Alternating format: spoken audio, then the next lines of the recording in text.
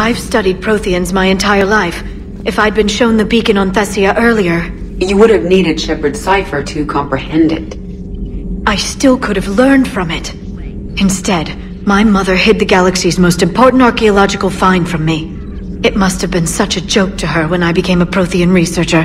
The penalties for withholding Prothean technology are among the harshest in Council space. Your mother's motives may have been simply to shield you. Perhaps. Thank you, EDI. I hadn't considered that. A Prothean. A living, breathing Prothean right below me. He's not what I expected. Me neither. He was a little cold when I tried to talk. I understand the shock of waking up again. His species gone. But a Prothean Shepard. There's so much he could tell us.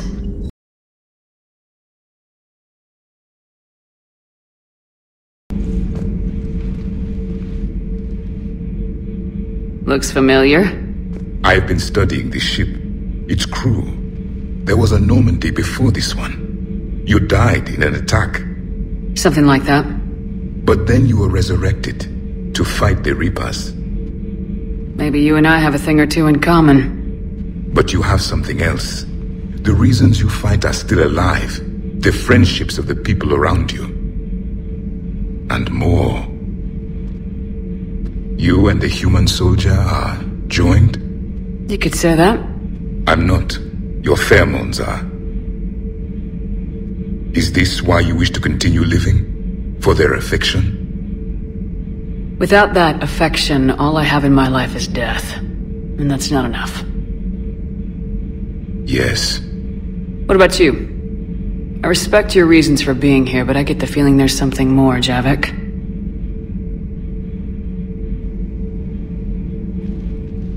What's in here?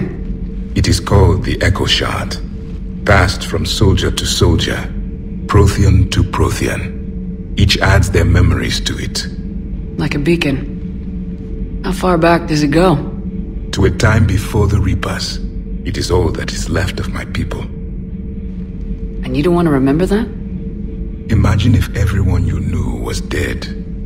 You could not remember their faces, or the color of the sky above your home. The memories were gone, but so was the pain. Would you want to remember that, Commander? Even if it meant watching everyone die again? If I had something like this, seeing Earth again, whole, with everyone still alive, that would be worth the pain.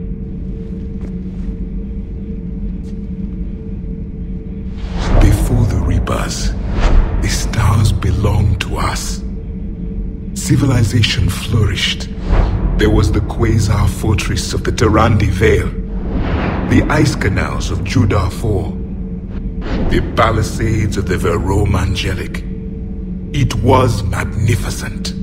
But then... What is it? The Reapers came.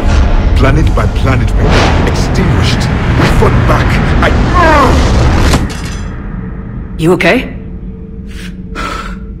I once commanded a ship like this one. A loyal crew with many friends was captured.